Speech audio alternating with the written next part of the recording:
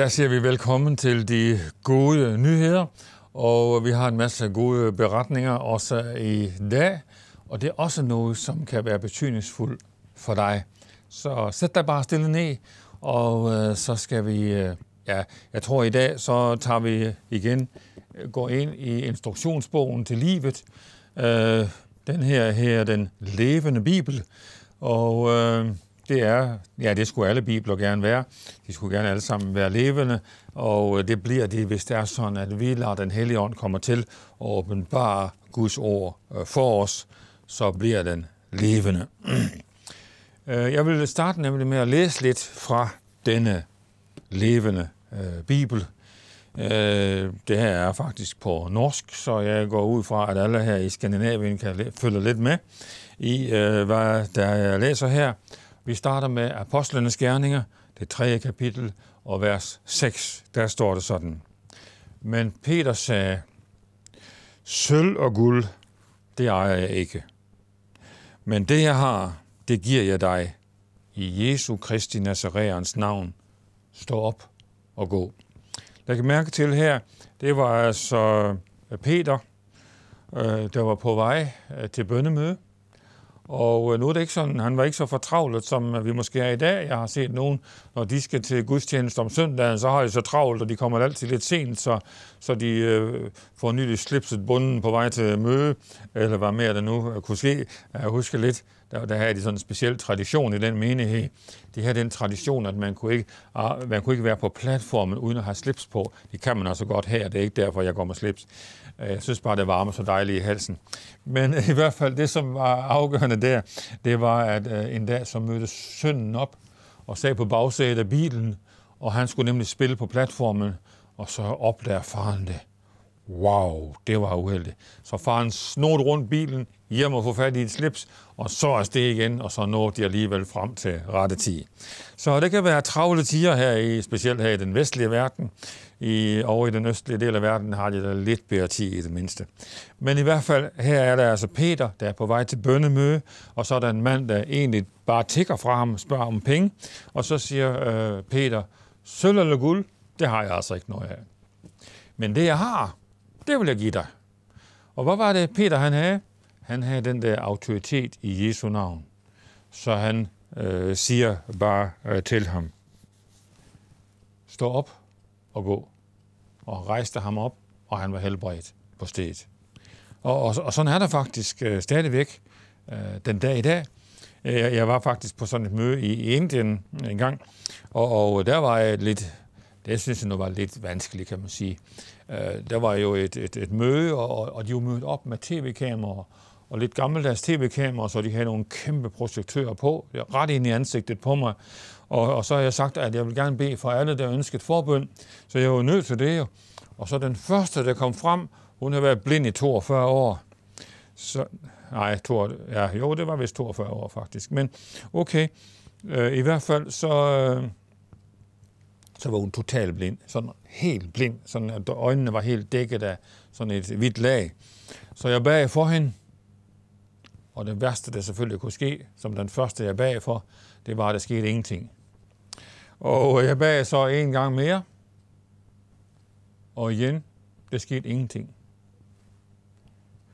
Og så, så, så pludselig så kom der et ord. Og det er, sådan, det, det er derfor, at vi startede med Bibelen. Der kan pludselig komme et ord til dig, som bliver levende. Altså et rema-ord, som, øh, som det egentlig her. Altså et ord, der bliver levende. Og så pludselig så kom jeg i tanke om dengang Jesus han bag to gange for en blind. Første gang så kunne han kun sådan halvvejs se, og anden gang så fik manden sit syn. Og så siger jeg så til forsamlingen, okay, jeg er ikke Jesus, jeg er bare en af hans disciple. Så hvis Jesus fik lov at bede to gange for en blind, så kan jeg jo få lov at bede tre gange. Og så er hele forsamlingen samtykket. Okay, så lad os bede tre gang sammen, siger jeg så til forsamlingen. Og så bag jeg så tredje gang, og så åbnede øjnene sig, og det der skæld, der lå over øjnene, det forsvandt, og hun havde 100% syn. Og den Guds kraft, som virkede på hende, den virkede også over resten af forsamlingen. Så en, de var kommet borgerne med på en seng, som de har stillet sengen lige inden for døren. Da hun ja, ja, altså det var egentlig bare den hellige ånd, der kom ned over forsamlingen, kan man sige. Så hun greb om det, at her er den hellige ånd, og så greb hun om det, og i det hun gør det, så springer hun ud af sin seng og går selv hjem. Så, så, så det, det er et spørgsmål om at gribe anledningen, når den er der. Fordi altid, Guds vilje er altid helbredelse. Gud vil, at vi skal have det godt på alle måder til både ånd, sjæl og læme. Så det er ikke Gud, øh, der holder igen. Og vi skal heller ikke tro, det er som øh, der står, at hændingerne de gør. De tror, de bliver bønhørt for deres mange ord. Nej, vi kan bare tage en sætning i tro, så vil det virke. Når, den, når, når, når det, som vi taler, eller det Guds ord, vi kommer i tanke om, det bliver levende for os, så vil det virke. Vi kan prøve at se via i Apostlenes Gerninger, det fjerde kapitel og vers 9. Når vi i dag bliver forhørt på grund af en velgærning mod en sygt menneske, og skal svare for, hvorfor han er blevet helbredt. Ja, der kan man se, det er jo ikke sådan, at, at fordi vi beder for en syg, at vi så får ro, som bliver ophøjet øh, i hele byen og så videre. Nej, tværtimod, øh, så blev de jo, fik de, de fik, skin, fik skæld ud, øh, fordi de har helbredt en syg, for det var ikke lige gjort på det rigtige tidspunkt, synes de ikke, og, øh, og det var ikke måske øh, gjort helt på den rigtige måde, synes øh, farisæerne i, i, i den by der. Øh, og det vil der stadigvæk være nogen, der fariserer rundt omkring. Så nej, nej, det er slet ikke øh, sådan, som man ofte sagde i, i, i Norge.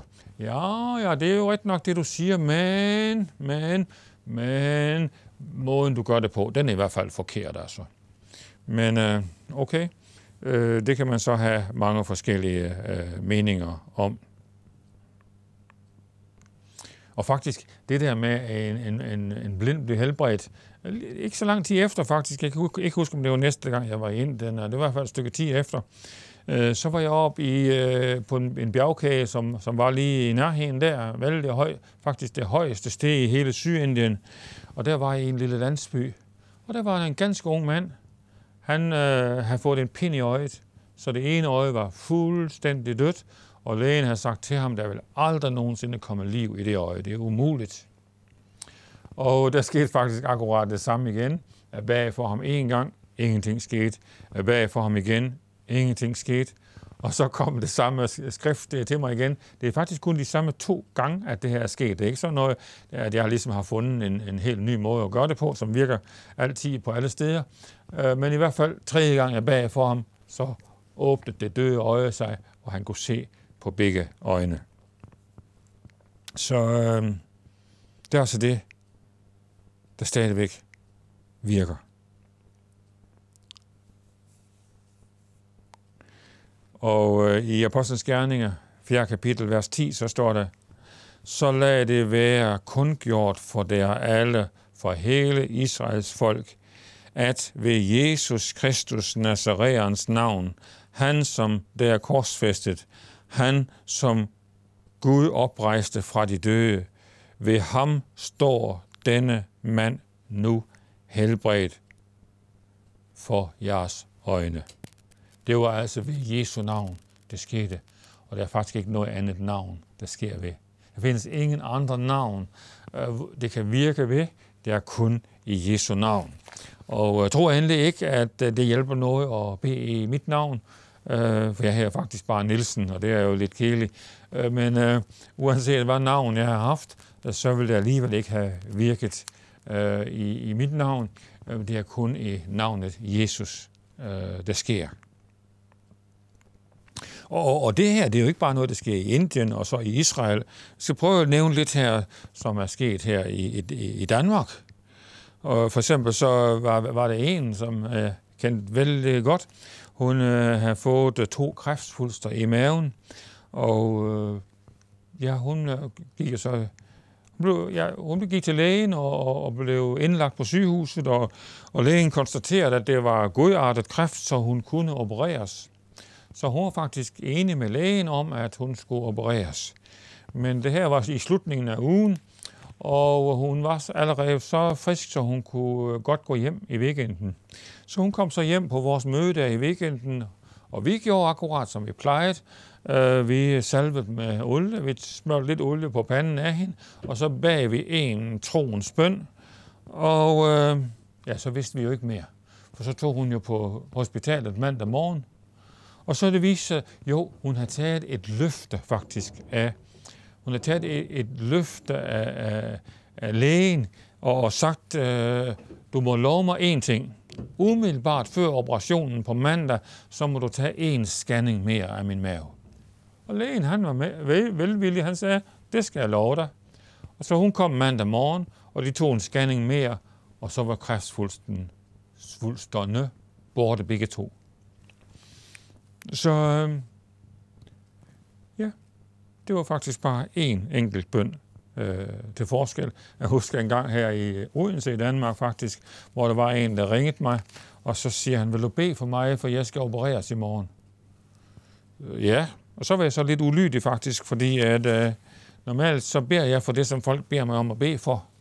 Og jeg bad ikke for operationen, må jeg indrømme. Men jeg bag om helbredelse af den kræftsvulst, han havde i maven, som var lige så stor som en knytnæv, fortalte han mig. Og, øh, der, og, og så dagen efter, så kom han jo så på hospitalet i Odense, og, øh, og de øh, spredte ham op, eller hvordan var det nu hedder, når det er lægelig, jeg er ikke så øh, kyndig der, men i hvert fald så åbnede de ind til maven, og kræftfulsen var borte, fordi jeg var kommet til at bede en enkelt bøn om, at kræften skulle forsvinde. Så øh, ja, så enkelt virker det faktisk nogle gange. Og, og sådan kan det virke, fordi det er her med, at noget bliver levende for os. Altså et ord bliver levende. En anden en, det var faktisk min egen øh, lærermester. Jeg var jeg er uddannet øh, snikker sneker faktisk. Og øh, ja, det var jo øh, samme uddannelse, som Jesus han havde før. Han begyndte at forkynde evangeliet, så, så øh, det er ikke fordi, at det var måske... Øh, ja, jeg tror ikke, det er mere betydningsfuldt af den grund. Men i hvert fald, så min lærermester, han faldt ned af et hustag, og så faldt han ned øh, ganske langt, øh, mange meter måske, 10 meter ned eller sådan noget. Men i hvert fald, han overlevede. Han brækkede bare hans arm, og det var til gengæld et voldsomt brud. Så det var sådan, at, at benene inde i armen var, øh, lå øh, forskudt fra hinanden. Så sygeplejersken kom og sagde til ham, da hun så billedet, rynket billedet, så siger, så siger sygeplejersken, dommen er faldet. Du skal have det i gips i seks uger. Men han greb bare om det her ord. Dommen er faldet. Og så sagde det ligesom ind i ham, jamen jeg er jo ikke under dom, jeg er under noget. Og det er faktisk det evangeliet, det er. Det er jo Guds nåde for hver den, som tror.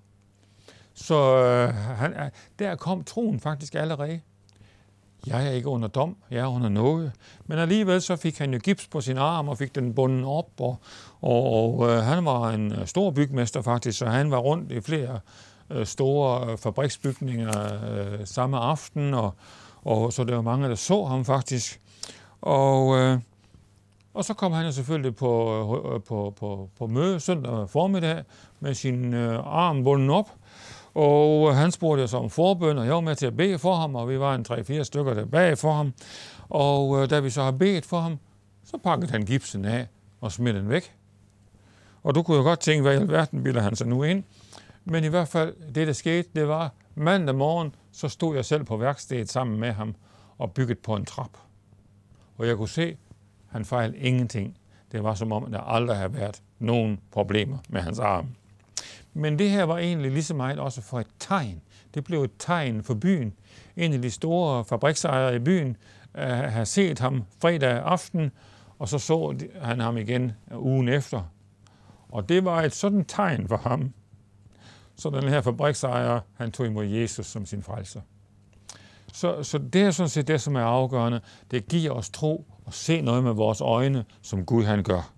Så øh, jeg skal bede for dig om et øjeblik. Du kan godt begynde at forberede dig øh, til det, og så skal du få lov til at se, at Gud gør også noget for dig. Han elsker også dig. Han har omsorg for dig.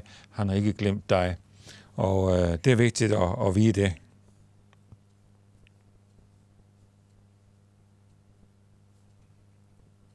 Jeg fik faktisk et øh, anonymt telefonopkald en dag, og øh, det er ikke alle, der er så vældig sådan, øh, øh, hver, hver vores øh, natur, kan man sige. Øh, hun ringede bare og sige, at øh, jeg havde bedt for, for hende, og hun blev helbredt for hendes sukkersyge, og, og så var hun jo også blind. Det var hun på grund af sukkersygen. Og da jeg så har bedt for hende, så forsvandt sukkersygen, og øh, blindheden forsvandt også, så nu har hun sit fulde syn igen. Det var altså en anonym telefonsamtale. Og øh, ja, det var en anonym mere, øh, der fortæller, at hun fik stemmen igen efter forbøn. Og, og faktisk så var der i en periode der, hvor der var vældig mange kræftsyge, øh, jeg bagfor, så jeg talte i hvert fald øh, 17 kræftsyge, som har konstateret af lægen før forbøn, at de har kræft, og efter forbøn, at de var helbredt. Så det er ikke bare sådan noget, der sker øh, en gang hver, øh, hver 30 år. Øh, det sker faktisk ganske ofte, at Gud han gør noget. Og det var bare her i Skandinavien, at det sker. Det er altså ikke bare i Indien, det sker. Men Gud gør noget alle vegne, og Gud er altid god, og han vil altid gøre godt, og han vil faktisk altid også gøre godt for dig. Så hvorfor vent? Du som er syg i dag, jeg vil gerne bede for dig nu. Ganske enkelt. Og det står, at vi skal lægge hænder på de syge. Det vil sige, hvad skal der så til for, at en person kan blive helbredt? Ja, der skal, der skal være en troende, der skal bede. Og øh, ja, det kunne jo så for eksempel være, være mig. Jeg er en troende. Så jeg kan godt bede en bøn for dig. Og så skal det være en hånd, så man kan lægge hånd på det sygeste. Det kunne jo så for eksempel være din hånd. Så du kunne tage din hånd og lægge den på det sygeste. Altså det vil sige, at der skal være en troende, og så skal der være en hånd. Jamen så skal vi faktisk ikke gøre mere, fordi så er det Gud, der gør resten. Det vil sige, nu lægger du hånden på dit sygeste, og så beder jeg en troens bøn, og så kan du tage imod helbredelse til din sygdom. Er du klar? Så i Jesu Kristi af Nazarets navn, så befaler jeg denne sygdom at forsvinde fra din krop. Og du, som også har en mere øh, sjældent eller psykisk belastet sygdom, i Jesu navn, så kommer Guds ånd over dig. Du vil opleve det nu, føle det, og Guds ånd kommer over dig på en mærkbar måde, og du vil opleve dig som fri bagefter, og du kan tage det som et tegn på, at Gud har grebet ind i dit liv. Gud er god, han er altid god, og han vil altid være god. Han vil altid blive ved at gøre godt. Og, og, og sådan sker det faktisk overalt. Øh, jeg er, faktisk, jeg er faktisk i Sverige i dag, det kan nu være lige meget, hvor jeg er henne faktisk, men i hvert fald så var det en, der ringede øh, fra Sverige. Det var faktisk en, der sendte en e-mail øh, med ønsker om forbøn øh, for en søn, som havde astma, og en datter, som havde sklerose. Øh, øh, øh, i, og i sidste linje så stod der, jeg har selv haft astma, men blev helbredt, da du bag disse med denne sygdom på gospelchannel. Gud er god. Vældig ofte så er det på den måde, det sker. Altså jeg kan godt bede for en person, og så næste gang de får et problem, så ringer de igen, og så siger de, ja sidste gang du bag for mig, så blev jeg helbredt. Så nu tror jeg så også, at min søn og min datter kan blive helbredt. Og sådan sker det faktisk øh, vældig ofte. Det er desværre ikke så vældig ofte, at folk ringer med det samme. Det er I velkommen til. Øh, I vil sikkert finde et telefonnummer på skærmen her, tror jeg. Og så er I velkommen til at, at ringe, øh, for øvrigt også få forbund, men specielt derfor at berette, hvad Gud har gjort øh, for dig i dag. En anden øh, dame fra Norge ringede og bærer om forbøn for sin mand, som var meget øh, tunghør på begge ører. Og så bag vi så for ham over telefonen. Det vil sige, at det var jo øh, hende, der ligesom var, øh, hvad skal man sige, øh, assistent her. Øh, det var konen. Og øh, vi bag så, og jeg tror, hun lagde hånden på sin mand, og jeg bag så over telefonen, og med det samme, så havde han fuld hørsel på begge ører. Så Gud er altså god, og øh, han kunne så høre med det samme, og han øh, bekræftede selv over telefonen, at han nu kunne høre. På en telefon fra Helsingør så lød det, vil du bede for min psykiske tilstand, og at jeg må kunne slutte med medicin. Jeg ved, at Gud hører bøn. For halvanden år siden bad du for mig om helbredelse for Syratius, og det blev helt og totalt borte. Ja. Så altså, det vil sige, hver gang Gud får lov til at gøre noget helt konkret for en, så vokser troen lidt. Så nu har hun så altså en ny sygdom, og øh, nu er hun klar til igen at blive helbredt for sin sygdom. Øh, det har jeg ikke noteret, men faktisk så blev hun helbredt også for det, hun nu øh, bag om, og hun øh, slap for medicin, og der skete noget vældig godt øh, med hende. Øh, ja, og sådan kunne vi faktisk blive ved at remse op, og det er faktisk vældig godt, det står, at vi skal, eller vi synger i hvert fald i en sang, til Guds gaver, til dem en for en. Og øh, du kan være med og tælle Guds gaver til dig. Også dig, som måske bare mangler fred i din sjæl. Det får du ved at bekende Jesus som frelser. Og øh, så vil du også få fred i din sjæl.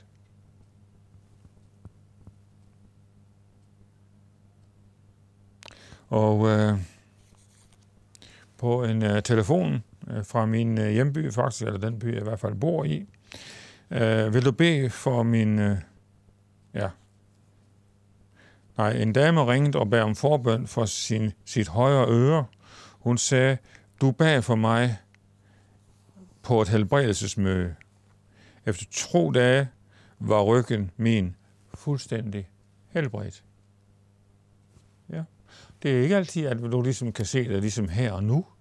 Men når vi har bedt en bøn til Gud, så kan vi tro, at han har grebet ind, og øh, det har han. Så Gud er god, og han vil altid gøre godt. Og øh, Guds nåde vil altid være stor. Ja, jeg kunne faktisk godt tænke mig at levere og remse op. Der er jo øh, hundredvis, ja, hvis jeg havde dem alle sammen, så ville det være tusindvis. Men øh, øh, der var en, som ønskede forbøn, øh, fordi øh, vedkommende stammet, og det skete en forandring umiddelbart. Han holdt op med at stamme. Og øh, der er sådan set ikke rigtig nogen grænser for, hvad Gud kan gøre. Men, men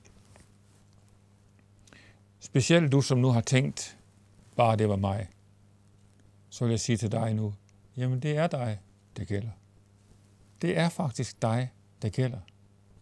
Du kan opleve denne Guds kraft, som jeg har talt om her, i dit liv. Det står om Jesus, at han blev såret for vores overtrædelsers skyld, knust for vores brødes skyld. Os til fred kom der straf over ham, og vi fik lægedom ved hans sår. Du kan faktisk få det hele i samme pakke. Du kan blive helbredt for dine sygdomme, du kan få tilgivelse for dine synder, og du kan fra i dag af begynde et helt nyt liv. Løft hænderne, hvis der er sådan, du vil tage imod.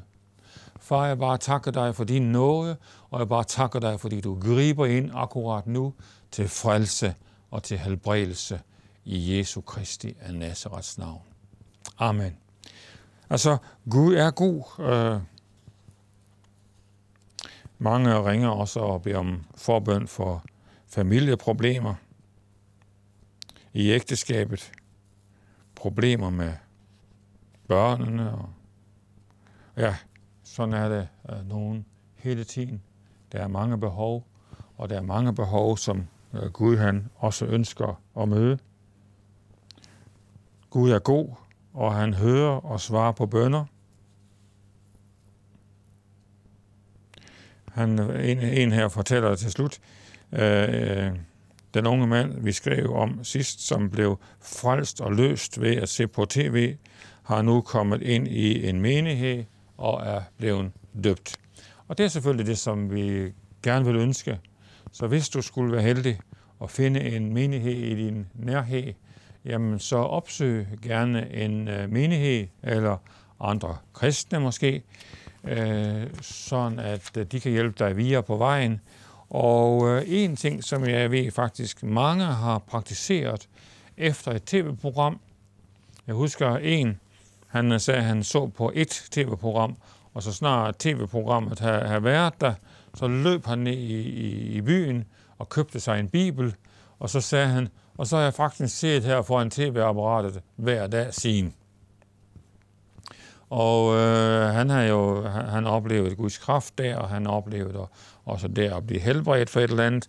Men så en stykke tid, nogle år efter, jeg tror det var cirka en tre år efter, så ringede han så til mig igen, og så siger han, om ikke jeg vil komme og bede for ham, fordi nu var det galt med hans ryg. Og der var der faktisk nylig, at jeg fik beretningen om, hvad der skete tre år tidligere. Men i hvert fald, jeg rejste hjem til ham, og vi bag en bøn for hans ryg, og øh, det rettede sig ud, og han var helbredt på stedet. Så altså, det er bare det, det kan ikke siges for grundigt, og det kan heller ikke siges for ofte. Gud er god, og han vil hjælpe den enkelte. Det, der var de gode nyheder for i dag. Gud velsigne dig. Tak for nu og på gensyn.